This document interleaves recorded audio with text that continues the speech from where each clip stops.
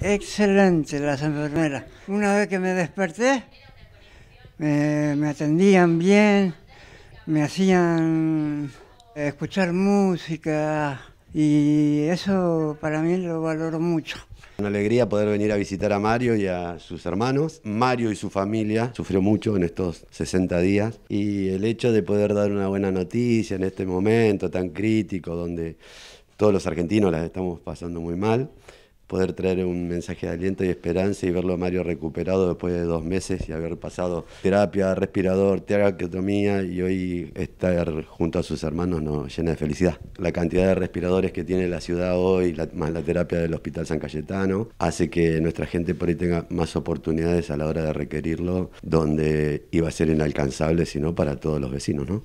La pasé bastante feo el primer mes yo no, me di cuenta, ya estaba, dormido, no, no reaccionaba, hasta que me hicieron la traqueotomía. Valoré mucho la atención de las enfermeras, de los doctores, la kinesióloga. Tengan esperanza, fe, fuerza, porque sin eso no, no se puede sobrevivir.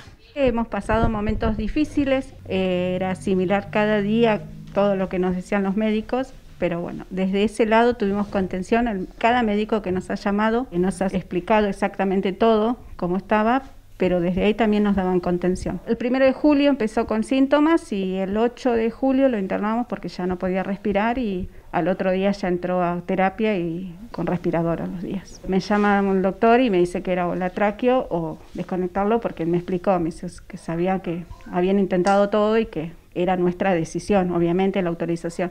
Por supuesto que optamos por la tráqueo, sabíamos que lo estaban acompañando muchísimo, que también yo creo que eso eh, también sirvió mucho para darle fuerzas a.